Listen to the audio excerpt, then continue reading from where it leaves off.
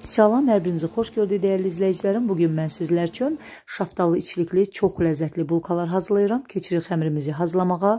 250 milli ilıqdan bir qədər isti süd götürürük. Bu da stəkan yarımdan bir qədər aşağı eləyir. Südün içərisinə demək bir çay qaşığı yarım quru maya əlavə edirik. Ümumilikdə bizə yarım stəkan, yəni 90 qram şəkər tozu lazımdır. Şəkər tozundan bir xörək qaşığını əlavə edirik e, mayanın üzərinə və e, demək 2 xörək qaşığı da dolu un əlavə edib bunları qarışdırırıq və üzərini örtüb ev temperaturunda bir qədər saxlayırıq. Hardasa 15 dəqiqə, 20 dəqiqə saxlayırıq ki, mayamız bir qədər aktivləşsin.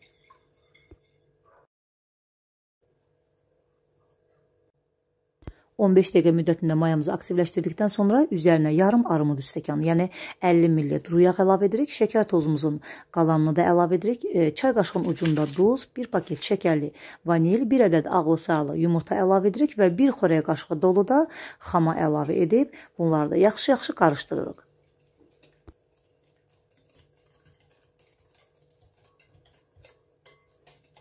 Bunları qarışdırdıqdan sonra 200 ml stəkan ölçüsü ilə üzərinə e, ilk öncə 3 stəkan un əlavə edirəm, daha sonra 1 stəkan da un əlavə edirəm. Ümumilikdə bu xəmir üçün mən 4 stəkandan 2 xörək qaşığı artıq un işlətdim. Və xəmirimi e, yoğurmağa başlayıram yumuşaq bir xəmir olur. Xəmiri e, yoğurub bitirdikdən sonra sonda e, üzərinə 50 qram ev temperaturunda tam yup-yumuşaq yumşalmış kərə yağı əlavə edirik və xəmiri yenidən yoğurmağa başlayırıq. Hər zaman qeyd edirəm, sonda yağ əlavə etdikdən sonra xəmirin üzərinə ilk öncə xəmiri yoğurduqda biraz xəmir parçalanmış kimi olur. Bunu e, görüb, yəni narahat olmayın. Xəmiri yoğurduqca özünüz də görəcəksiniz ki, xəmir toparlanır. Və gördüyünüz kimi xəmirimizi yoğurduq, yumşaq, çox gözəl bir xəmir oldu. Xəmirin üzərini örtüb, qoyuruq xəmir qalsın, mayalansın. Xəmirimiz mayalanan müddətdə də bulkaların üzərinə tökmək üçün umac hazırlayırıq. Umac üçün 2 xörək qaşığı yarım unun üzərinə 1 xörək qaşığı yarım şəkər tozu əlavə edib qarışdırırıq. Daha sonra isə üzərinə 1 xörək qaşığı ev temperaturunda tam yumşalmış kər yağı əlavə edirik və bunu yaxşı-yaxşı umac hazırlayırıq. Qoyuruq bir kənarda qalsın. Artıq umacımız hazırdır. 1 saat keçdi. Yay olduğu üçün mənim xəmirim tam 1 saat müddətində mayalandı. Xəmirdən maya qoxusunun gəlməmək üçün ilk öncə xəmirin e, havasını alırıq. Daha sonra isə masanın üzərinə biraz un əlavə edərək xəmirimi toparlayıram. Kündələrim hamısı eyni boyda olsun deyə, eyni ölçüdə olsun deyə mən xəmirimi ilk öncə tərəzidə e, çəkisini e, çəkdim. 1 kiloqram 73 qram xəmir elədi və bunu eyni ölçüdə olmaqla, yəni həmin 1073 qramı mən 8 yerə böldüm. Demək 135 qramdan məndə kündələr alındı.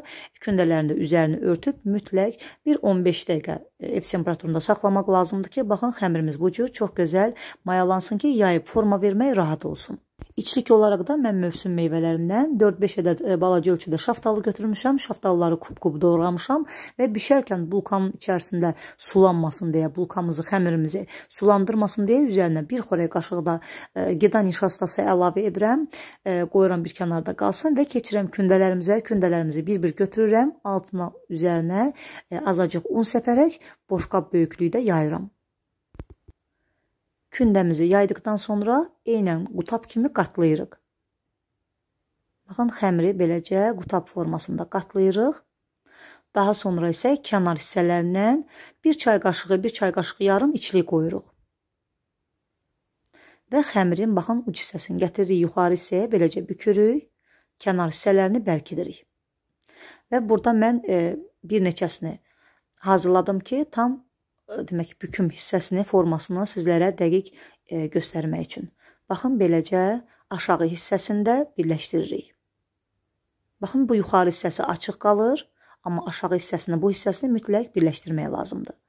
Və e, demək e, eni 30 sm olan mən şüşə borcam götürdüm.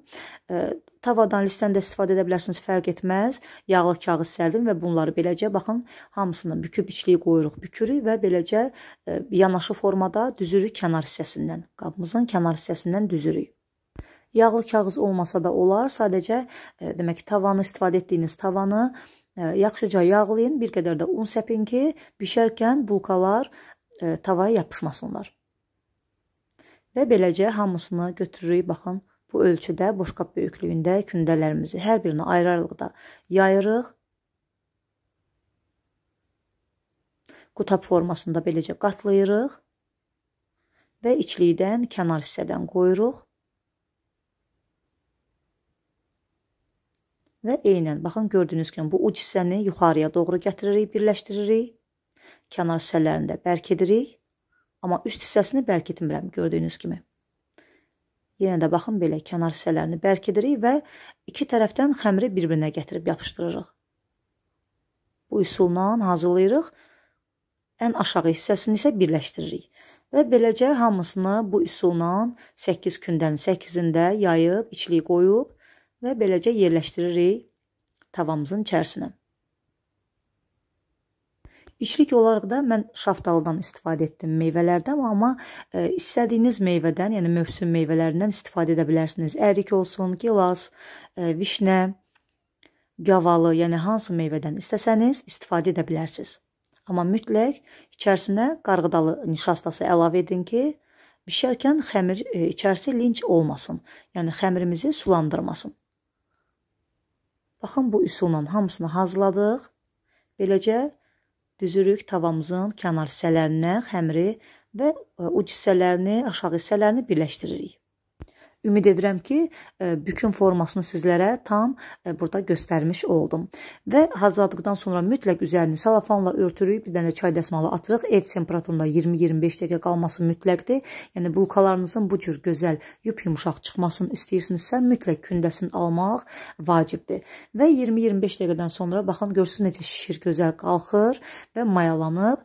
Demək ki, yumurta sarısı götürürük, üzərinə demək bir xörək qaşığı duru yağ əlavə edirik. Yaxşıcana qarışdırıb bunu da kist vasitəsilə bulkalarımızın üzərinə çəkirik. Bunu da mütləq çəkərkən çalışın asta-asta çəkin ki, bulkanın xəmirin şişi yatmasın. Üzərindən çox basmaq lazım deyil. Asta-asta beləcə yumurtanın sarısını üzərlərinə çəkirik. Üzərindən də hazırladığımız umacı hər tərəfinə eyni bərabərdə olmaqla səpirik.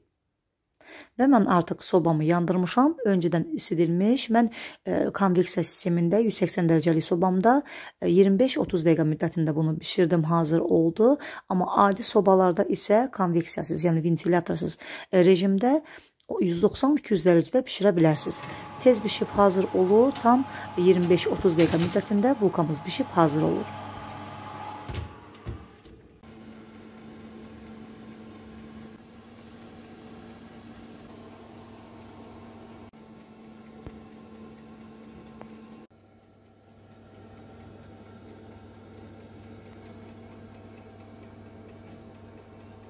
Və budur, artıq bulkalarımız bişib hazır oldu. Mütləq e, soyumasını gözləmək lazımdır. Bir də onu qeyd edim ki, dəyərli izləyicilər, mən bulka bişirərkən hər zaman sobadan çıxaran kimi ilk öncə üzərinə bir təmiz çay dəsmalı atıram. Çox yox, 5 dəqiqə saxlayıram. Belə etdikdə bulkalar daha da yumşalır. Daha sonra isə 5 dəqiqədən sonra üzərindən dəsmalı götürürəm və qoyuram ev temperaturunda qalsın, tam soyusun.